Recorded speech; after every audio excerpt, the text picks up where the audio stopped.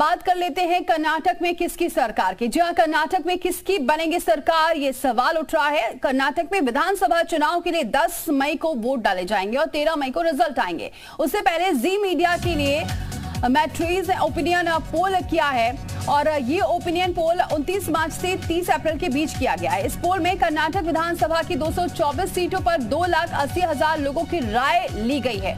Opinion poll के नतीजों में margin of error plus minus five प्रतिशत है। आपको ये बताएँ कि ये चुनाव के नतीजे नहीं है, सिर्फ़ ओपिनियन पोल है। इस ओपिनियन पोल को किसी भी प्रकार से चुनाव को प्रभावित करने की कोशिश ना समझा जाए। ओपिनियन पोल का 224 सीटों का वोट परसेंटेज किस पार्टी को कितना जा रहा है? बीजेपी को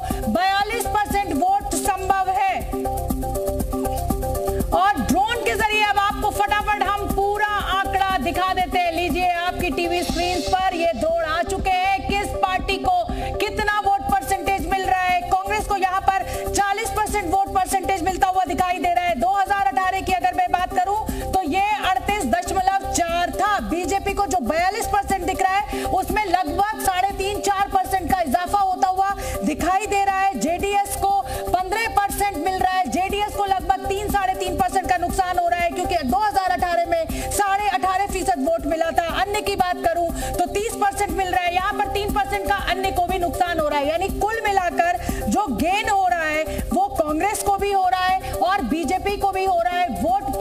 परसेंटेज में, लेकिन वोट परसेंटेज किस पार्टी को कितना वोट मिला, ये तो हमने आपको दिखा दिया। बीजेपी को 42 परसेंट मिला है। साढ़े तीन से चार फ़ीसद का यहाँ पर बीजेपी को 2018 की तुलना में फ़ायदा होता हुआ दिखाई दे रहा है। जेडीएस को यहाँ पर नुकसान होता हुआ दिखाई दे रहा है, लगभग ढाई से तीन परसेंट का। तो ये टोटल आंकड़ा आपके पास आ चुका है, चालीस परसेंट यहाँ पर कांग्रेस को भी फ़ायदा होता हुआ परसेंटेज में दिख रहा है, लेकिन जब 224 सीटों के लिए ये वोट परसेंटेज ट्रांसफ़र होता है तो किसको कितनी सीटें मिलेंगी? ये आंकड़ा भी बहुत दिलचस्प हो जाता है, क्योंकि ऊँट किस करवट बैठेगा?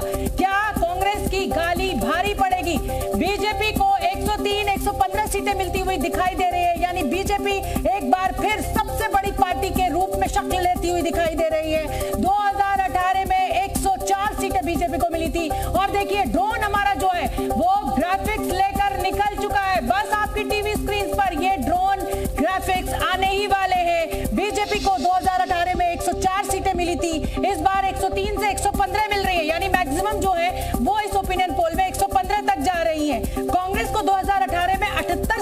78 सीटें मिली थी। इस बार उन्यासी से इक्यानवे सीटें जाती हुई कांग्रेस के खाते में दिखाई दे रही है। यानी अच्छा खासा गेन बीजेपी को भी हो रहा है सीटों के रूप में। गेन जो है, वो कांग्रेस को भी हो रहा है सीटों के रूप में। तो क्या जेडीएस को ये सबसे बड़ा नुकसान होने जा रहा है? जेडीएस को 26 से 36 सीटें मिल रही हैं और जेडीएस को ये लगभग 10 से 12 सीटों का नुकसान इस बार दिखाई दे रहा है। क्योंकि 2018 में जेडीएस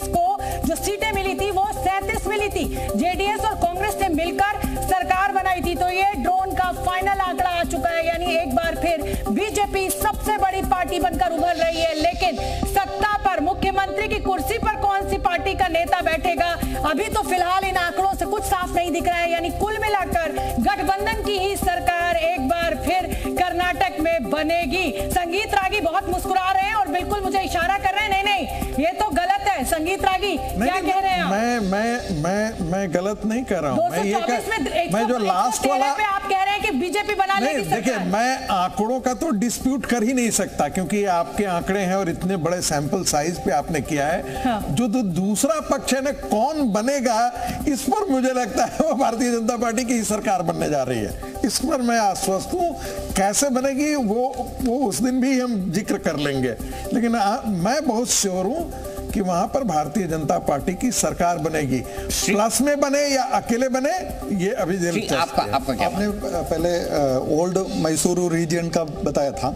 वहाँ पर जेडीएस का गढ़ माना जाता था। वहाँ पर आ, इस बार क्या हुआ था? जेडीएस का पकड़ कम हो गया है। उनका जो आ, और वहाँ बीजेपी का स्ट्रेटजी देखेंगे तो आपको देखेगा 32 सीट्स में उन्होंने पूरा ज़ोर लगा दिया है। वो इस रीजन में काफ़ी सीट्स में है। तो जेडीएस का नंबर ऑफ़ सीट्स कम होने वाला ही है वहाँ पर। और एक और बात है, वहाँ पर बीजेपी ने वो मंडिया में वो वहाँ का एमपी है सुमलता। उनके साथ भी उनके पार्टी के साथ भी टाइप हो गया है। तो इस हिसाब से वहाँ पर भी उनका प्रदर्शन अच्छा होने ठीक है मनोज एक क्विक आपको डाटा पर क्या कहना है? क्योंकि अभी आपको आप पे चिल्लाने लगेंगे कि आपने बीजेपी को एज दे दिया मनोज जी आपने नहीं नहीं दीपक जी मैंने कहा कि बाकी पॉलस्टर जो है ना वो आपको बाहर ढूंढ रहे हैं।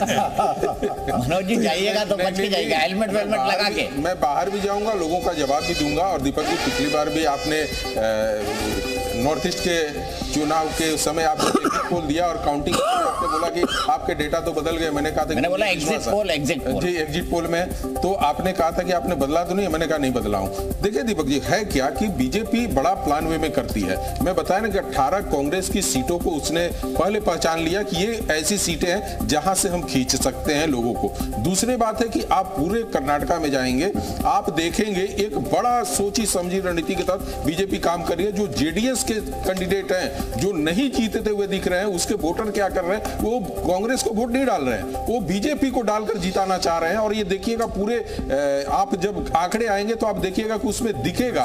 और इस तरह के चीज़ों को जब निकाला जा रहा है और यही बीजेपी के जो वोटर हैं, जहाँ देख रहे हैं कि यदि हमारी पार्टी नहीं जीत सकती है, वो जेडीएस को वोट देकर जिता रहे हैं, उनको लग रहा है कि कांग्रेस को देकर कोई फ़ायदा नहीं। ओपिनियन।